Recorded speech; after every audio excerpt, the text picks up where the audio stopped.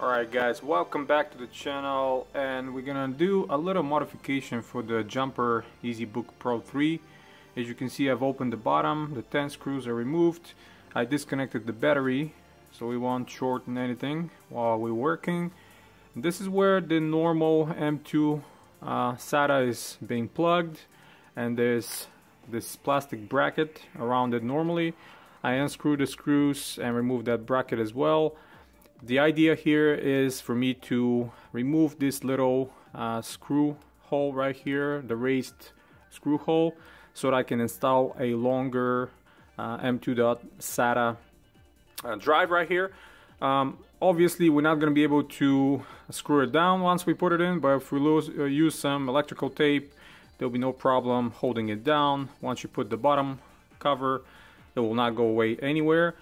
I just wish uh, a jumper have put one of those here further back so you can just screw it up and uh, don't worry about it. And you know it would have cost them a couple cents to put that on but it is what it is.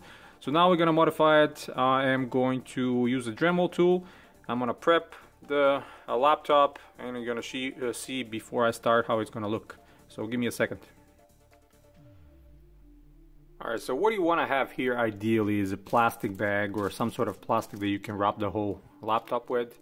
And only make a small incision to leave a hole where you're going to cut. And I used uh, masking tape or uh, painter's tape to tape around uh, the hole. So when you cut with the Dremel tool the metal shavings will not go to the laptop and you know transfer over to any of the electronic components that's essential. You don't want to shorten anything later when you plug it in.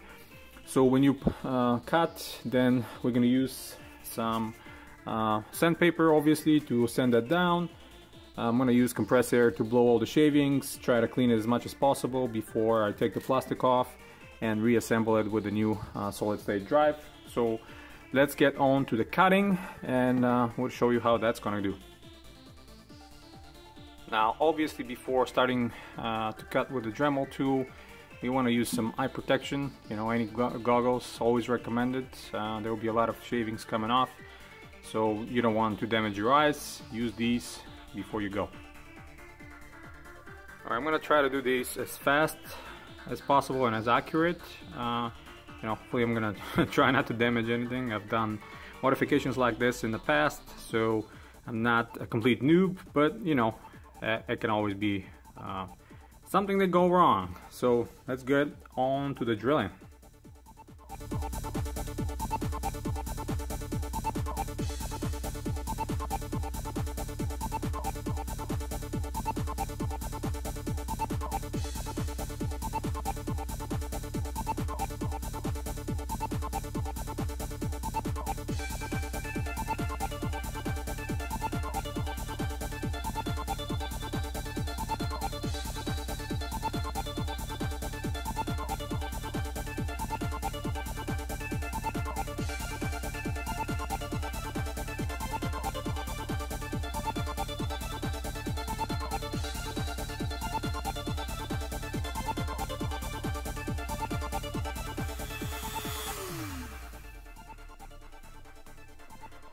That's it. We're done with the first part.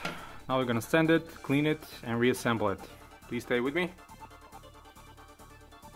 Alright, now that we cleaned it up, uh, this is how it's gonna look.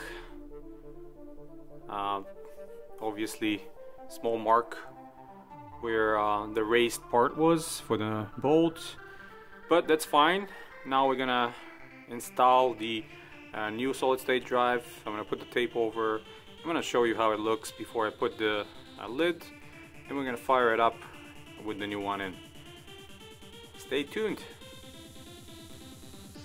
Now what we have here to install is this Intel uh, longer M.2 uh, drive which is obviously um, bigger on size as well. The camera focuses on it maybe Maybe not. Come on, camera.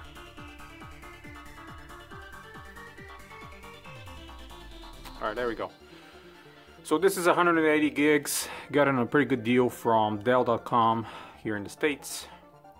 Obviously this is twice the size of the my previous one the SanDisk that I had left over from another device so you can see the size difference here um, but obviously this capacity is bigger on the Intel. The drive is faster itself so I had to uh, install it. What I use to migrate the OS from the existing one to this one is one of these devices.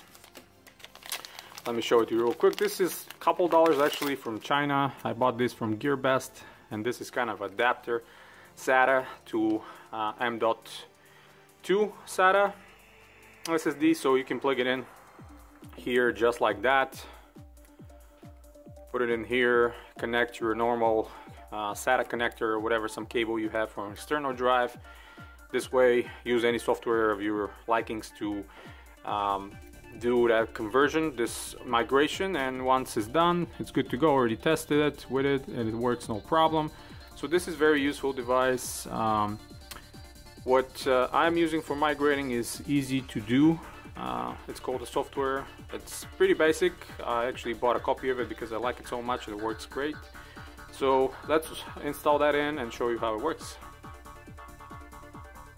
Alright, here's the drive installed. It doesn't look the prettiest, but it doesn't have to be. Once it's under the cover, you're never gonna see it. So I put some electrical tape on the back to hold it and some across. So I think we're gonna be good. I'm gonna launch it right now. Remember to reattach your battery connector and see what's the situation. Again, another warning, if uh, you're relying to use the warranty on this, please don't do that this modification you know, me being located in the States, this coming from China, I'm not relying to uh, do any warranty claims, so I can do it on my own risk.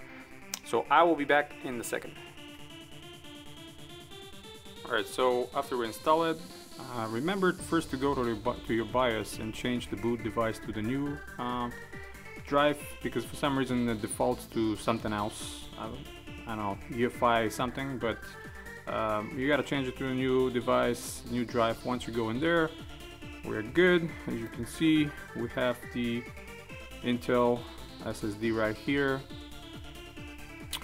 And the Windows is running on it, so uh, no problem whatsoever. This modification is pretty quick and fast.